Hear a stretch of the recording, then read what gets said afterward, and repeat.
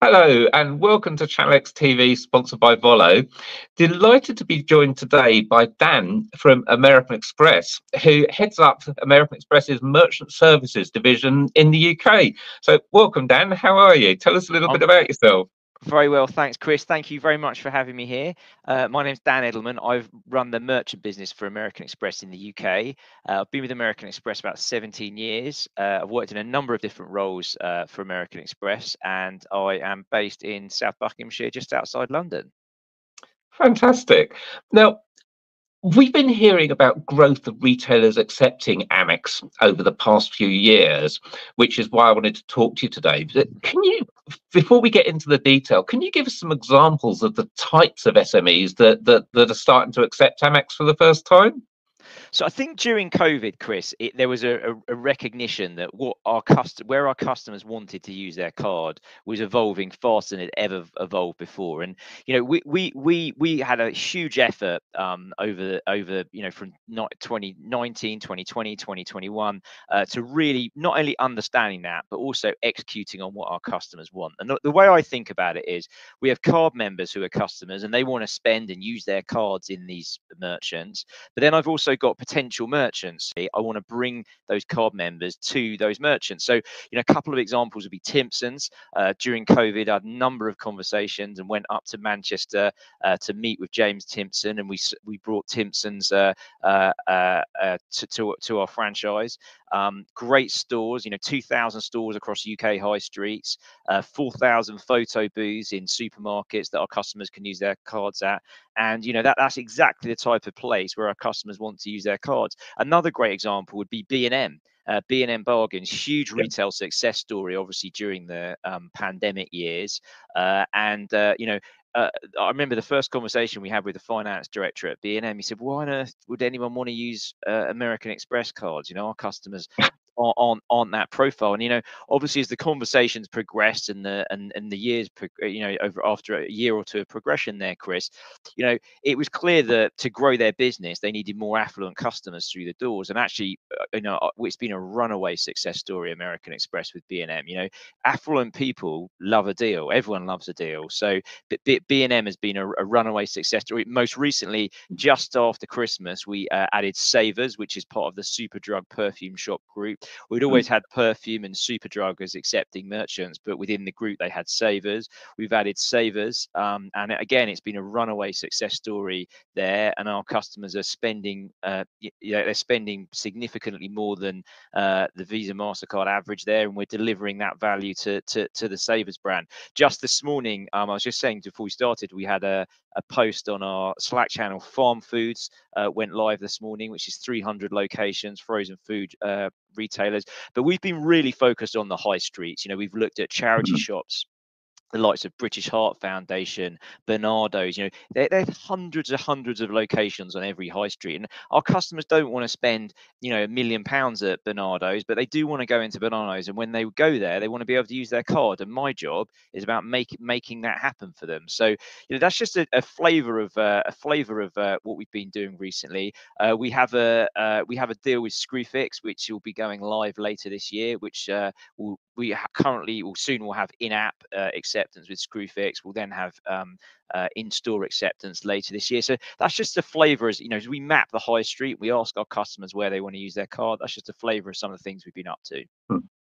And why should SMEs accept Amex? Because I mean, most people have got, forgive me for mentioning competitors, but either a Visa or a MasterCard, whether it be a credit card or a bank card, may, maybe it's a link card, but they, they've got a card that can be accepted in the shop almost certainly. So, what is the big argument for accepting Amex for an SME? The vast majority of those customers, Chris, have paid a fee for those cards and they want to use that card. Uh, they want to collect the points. They want to get the benefits that uh, go along that card. So if you're if you're there on the high street and you're a small business you know you want to satisfy your customers and it's a it's a it's a disruption moment when you come to pay and then you find you can't use the card you want. It irritates the customer and as i always say to a merchant a small merchant you might win that customer that day when you're trying to if you're a you know trying to sell them a mirror if you're in a homeware store they might buy that mirror. The problem is for you do you, are you once you've you know disrupted them at point of sale and they haven't been able to use the cards that they want will they come back or will they go back to the store across the street that does accept American Express? So I think there's an argument about uh, customer satisfaction. I think the second argument is particularly for the 5 million people that come into the UK, uh, a significant chunk of them Americans, and they don't carry another credit card. So you know, mm-hmm. Amex is their prime pr- primary card, um, and, and, it is the card that they want to use. Um, and, and, you know, and I think that the, the other point is, you know, now there's so there's fewer and fewer and fewer places that don't accept American Express. I think that the the experience I just talked about, where you, when you can't use their card, it, it it jars for customers now. And I think you know, I think I think if you're a small business and I spend a lot of time talking to small businesses, visiting small businesses, understanding small businesses, you know, the one thing they all tell me they need is more customers. And you know, mm. American Express is absolutely proven we can bring you more customers and we can bring you higher spending customers and customers that will that will add value to your business. So, you know, I, I get taking Amex as a choice. It's not something everyone wants to do, but that that that would be um, how I would articulate it to small bit small businesses. We also do a load of extra stuff that other networks don't do. We run a shop small program every year around Small Business Saturday, uh, where we incentivize all of our card members to spend at uh, at merchants, and we give them an offer to go out and spend, which is effectively an, uh, a, a, free driving transactions to to small merchants for free. We have a whole range of promotional and digital tools that we use to push our our customers uh, to, to, to, merchants. So, you know, we bring a lot of extra stuff that uh, other networks don't mm. bring. And, you know, uh, pr- pr- primarily though i think it's about customer choice and i think if in today's competitive world if you disrupt the customer then you know no one likes that.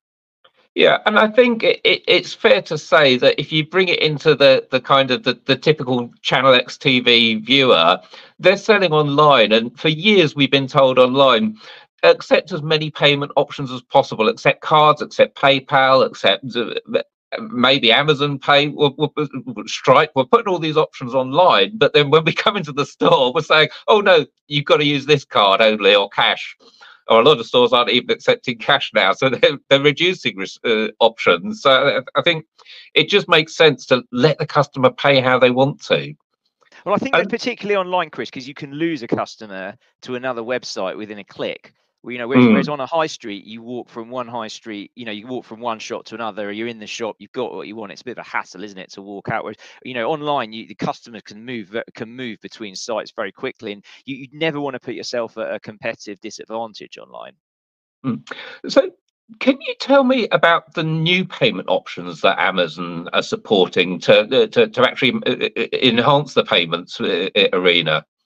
So new payment options. So for Amex, so we're we're heavily invested in um, the business. So there's obviously things like Apple Pay. We were the first uh, network in the UK and the first launch partner for Apple Pay across the UK. So that things like that, and Apple Pay obviously online is now a, a big part of our payments. But some of the some of the uh, new emerging uh, areas of payments, open banking payments, and open banking, Chris was uh, set up uh, a number of years ago and was really about two things. One, uh, where you can add seats, use your bank data uh, in other places. So the best example of that eh, that is when I log into my NatWest bank account, it says, "Do you want to do you want to add other bank accounts and see data from other bank accounts?" And I suppose the, the argument for that is that it, it was about driving switching and and, and mm. making banking more competitive. So you know, if you bank with Monzo but you log into Barclays all the time, well, you can see your Monzo account at the same time you log in with Barclays. So that, that was one push of open banking, making it easier for customers to bank with do different things with different banks. They just didn't do everything with one bank, and and that's and that's and that's where a lot of the focus of open banking was. I mean, when you used to go five years ago to seminars, everyone said it's about the data. That's where the future is.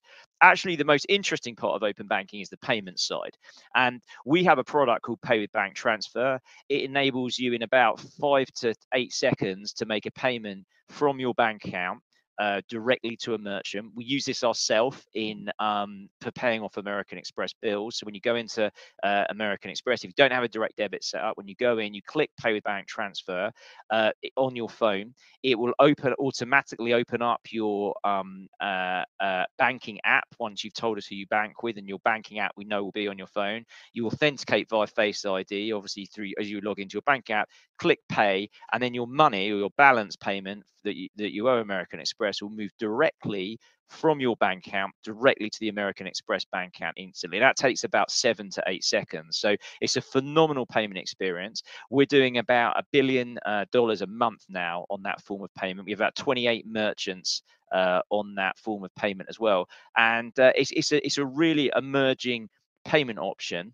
Uh, it, it's great for small businesses. Uh, mm. because it's a low cost form of payment and it's predominantly being used where debit cards are being used so it's effectively you know i describe it as a as a better and a cheaper way of using a debit card online, particularly where you don't have a card on file, Chris. Because obviously, if you have a card on file or you're going to use Apple Pay, mm. uh, it, that's quite quick as well. But this is this is this is all about um, uh, uh, customers, as I said, having a better way to pay online uh, where um, where they would use a debit card, uh, and it's quick, simple, and easy. Merchants love it because it's low cost, um, and it's a business we're trying to try, trying to grow out. Hmm.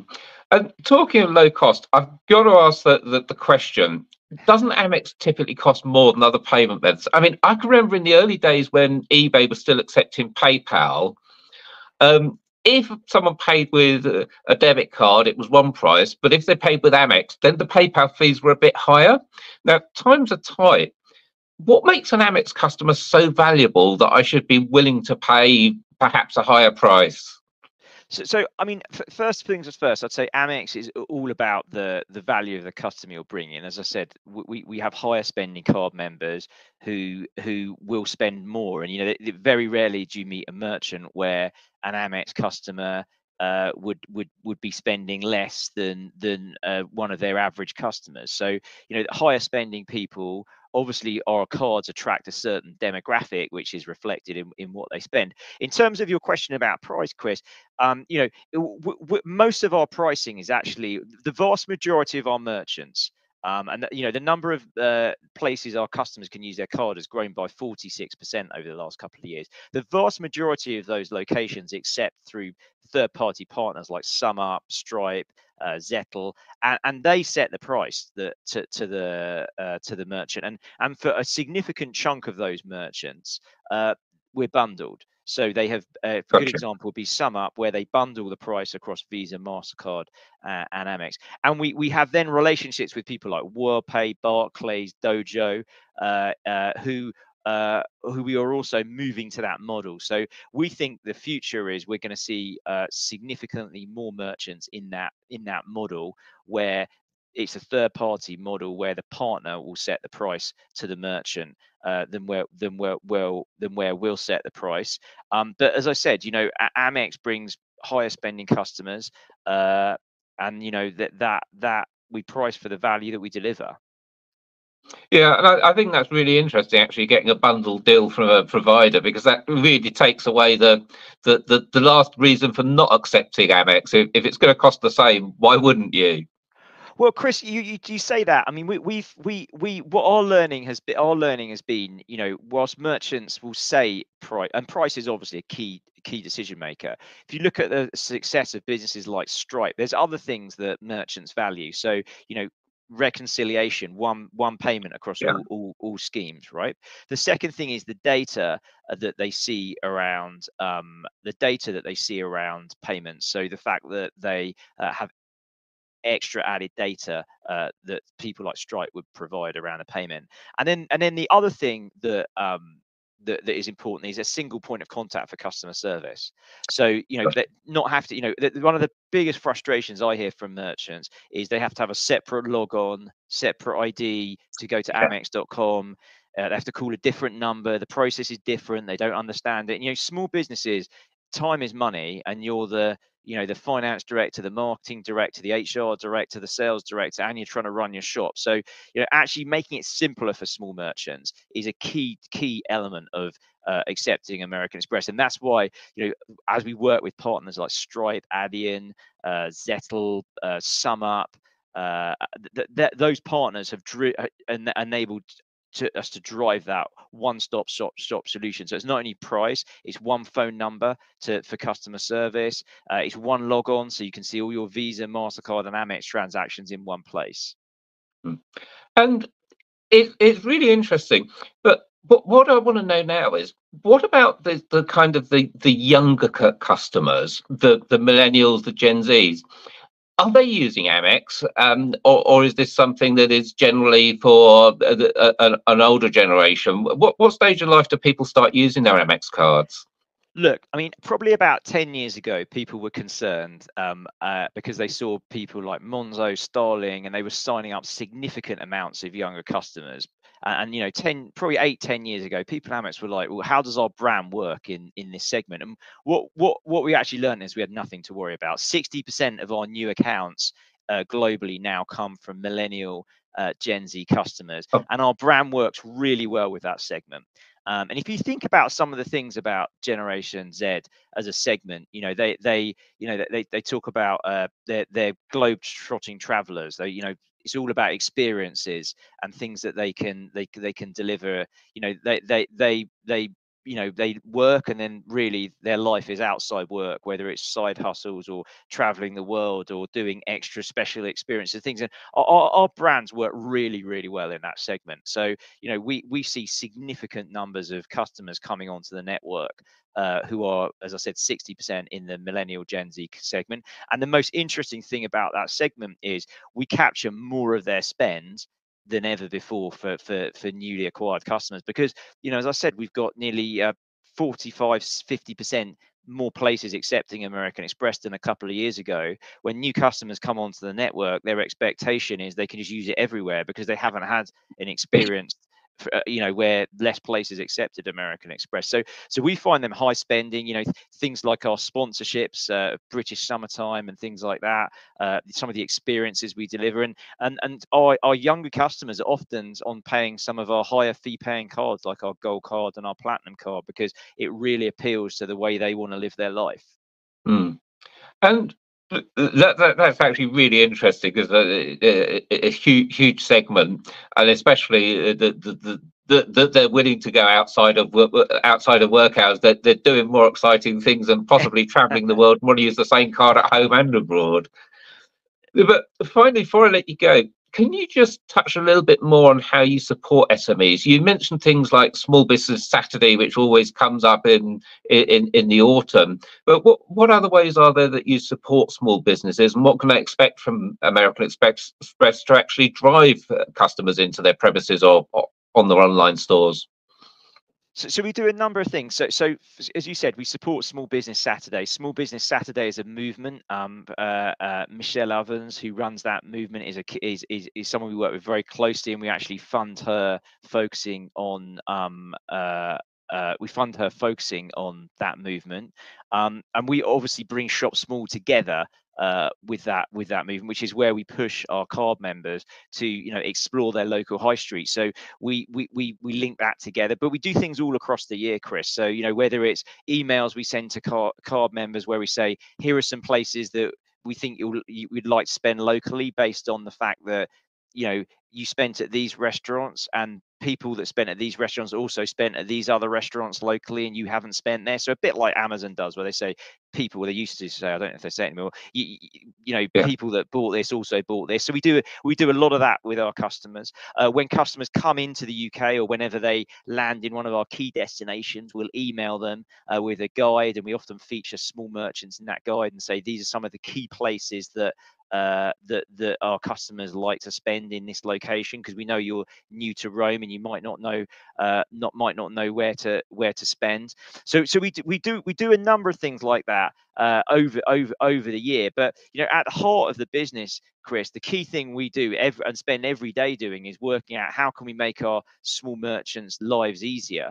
Uh, and how can we change you know simplify our processes simplify what we're doing because you know we, we realize that we want small merchants doing business, being successful, not worrying about how they're going to do this or how they're going to do that with American Express. You know, if, if we make small businesses successful and they they can spend more time on their business, then they're going to do more business with American Express. So mm. we we try and make ourselves uh, and we don't get it right all the time. I acknowledge that, Chris, but we try and make ourselves as customer friendly as possible. And that's one of the great things I love about working at American Express is, you know, we are a very, very, very customer centric brand. Uh, you know, if you know, if we if every every complaint is looked at, we review them, we understand how to make things better, we try and learn, we admit we've made mistakes, we recover. You know, we are very, very customer centric, particularly for our small business customers, because we realise they're the backbone of, of the UK. And final question for, for those that aren't currently accepting American Express and having listened to this want to, where do they go to sign up? And that's probably a complicated answer because it, it, it might be a payment provider, it might be American Express. When when should they speak to Amex directly, and when should they sign up for a partner? So, so there's multiple ways you can accept American Express. You can always ring us directly if you if you Google uh, accept American Express UK. There's a number you can call us and accept directly. That's absolutely. Uh, we have people on the phone ready to answer the call if people would like to do that. Or you can ex- you can accept through your partner. So people like Stripe or Adyen, uh, they they they you can accept American Express through them, so you can contact them and ask for American Express to be added. M- many of your customers and listeners, Chris, will already be accepting American Express and might not realize it. So, you know, if you're signed up to SumUp, Zettle, Square, any of those payment forms, you're probably automatically opted in to uh, accept American American Express. And then if you're a more traditional uh, high street retailer, you know we have deals with the likes of WorldPay, Barclays, Dojo. Again, either you can contact us directly or you can contact your current provider, and they can uh, they can sign you up for American Express. So there's many different ways to sign up, but we'd love to have all of your uh, all of your listeners and uh, customers on on the on the network and bring value to their businesses. Uh, Dan, I want to thank you so much for your time today. It's been absolutely fascinating, and especially to hear uh, a bit more about the value of the Amex uh, American Express customer and, uh, and, and the, the fact that they're probably going to be higher spending customers, which I think um, everyone could do with a few more of those. So thank you so much for your time today. Thanks for having me here, and look forward to speaking to you again soon. Cheers, Chris.